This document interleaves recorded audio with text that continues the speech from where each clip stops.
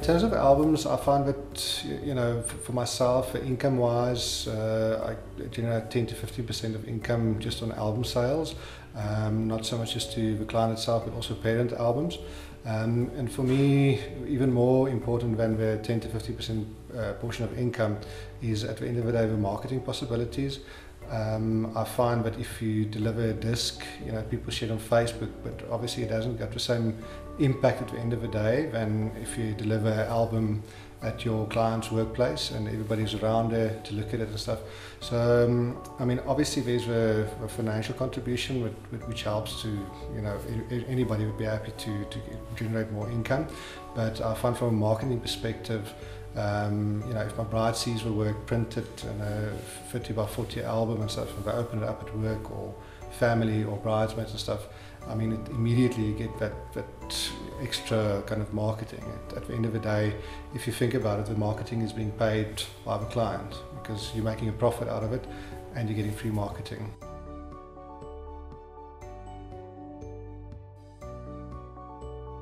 First and foremost, reasons for using QPhoto. Um, I think obviously out there we can find the same product at the shop next door. I think what is important is there is a large variety there. And also what's quite exciting is, is the fact that they've got new packaging um, for all the albums. Uh, I think for myself and my client, it's quite important to have an experience when they receive their album at the end of the day, rather than just getting the album. So, you know, at the end of the day, it's it's a small added uh, value, you know, in your packaging that's branded, that you know kind of sets you apart from the guy next to you.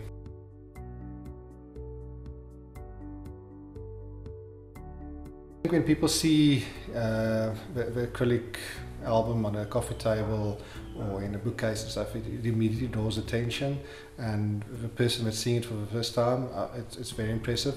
And I still find a lot of people out there that, that, that compliment it and say they've never seen something like this. So, so it, in, in a sense, I think it's been in the industry for quite a while, but it's still very, very popular in the sense that um, you know, people love the feel and the look of it and the fact that it's, it's very attractive.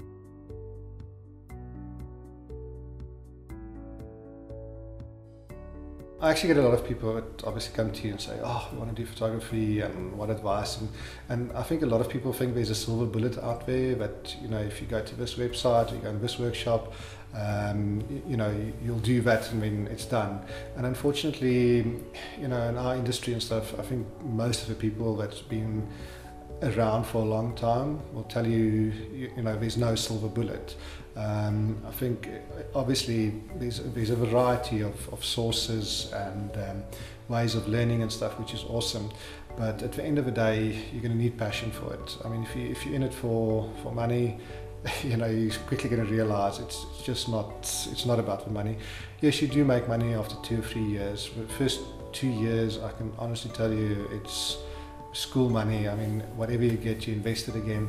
Um, so, so yeah, you need to be passionate and stuff. There's no short-term solutions to making a name. Um, having said that, you do get opportunities, and I think you have to be ready for them. Um, you know, so so don't say you can't do it. Rather, figure it out and and, and go for it.